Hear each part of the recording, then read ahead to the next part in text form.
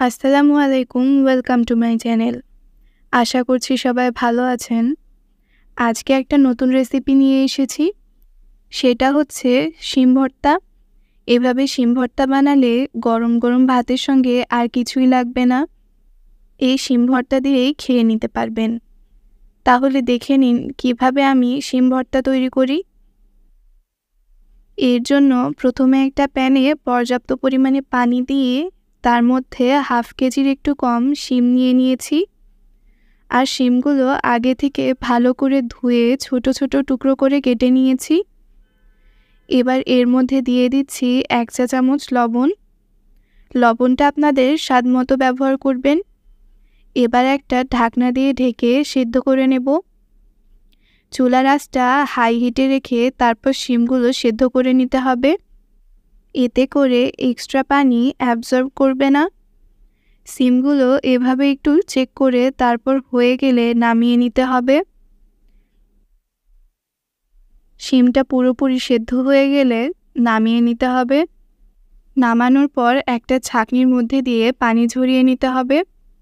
পুরোপুরি পানি ঝরে গেলে শিমগুলো একটা প্লেটে উঠিয়ে নেব।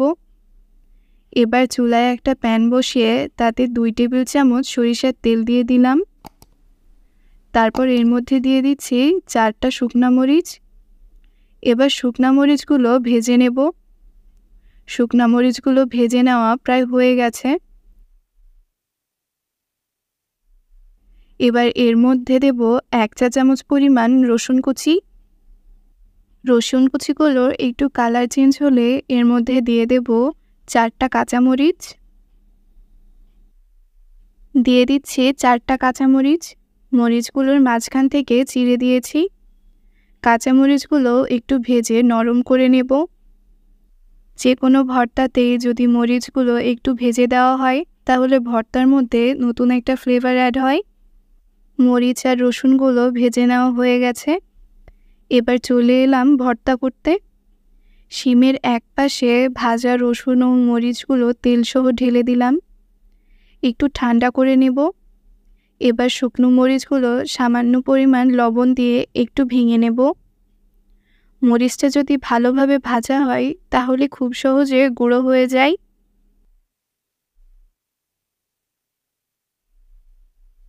এখানে একটা মাঝারি সাইজের পেঁয়াজ কুচি নিয়ে নেব। পেঁয়াজটা একটু মোটা মোটা করে কুচি করে নিয়েছি। এবার সবগুলো মরিচ, রসুন কুচি ও পেঁয়াজ দিয়ে ভালো করে মেখে নিচ্ছি।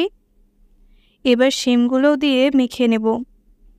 দেখছেন শিমগুলো কত নরম হয়ে গেছে। এভাবে শিম ভর্তা করার জন্য চেষ্টা করবেন কচি শিম নিতে। আর এই পর্যায়ে আপনারা চাইলে ধনিয়া পাতাও দিতে পারেন। গরম গরম ভাতে এই শিম ভর্তাটা খুবই ভালো লাগে। শীত প্রায় চলে এসেছে, আর বাজারেও নতুন শিম পাওয়া যাচ্ছে। এভাবে একবার শিম ভর্তা করে দেখবেন, অনেক টেস্টি হয়। বাসায় অবশ্যই ট্রাই করবেন, আর গরম গরম ভাতে এই রকম শিম ভর্তা থাকলে এক থালা ভাত নিমেষেই শেষ করা যাবে। আমার আজকের এই ভিডিওটি ভালো লাগলে লাইক, কমেন্ট ও শেয়ার করতে ভুলবেন না। আমার চ্যানেলে নতুন হলে সাবস্ক্রাইব করবেন। যেন আমি এমন নতুন নতুন রেসিপি আপনাদের সাথে শেয়ার করতে পারি। সবাই ভালো থাকবেন। আল্লাহ হাফেজ।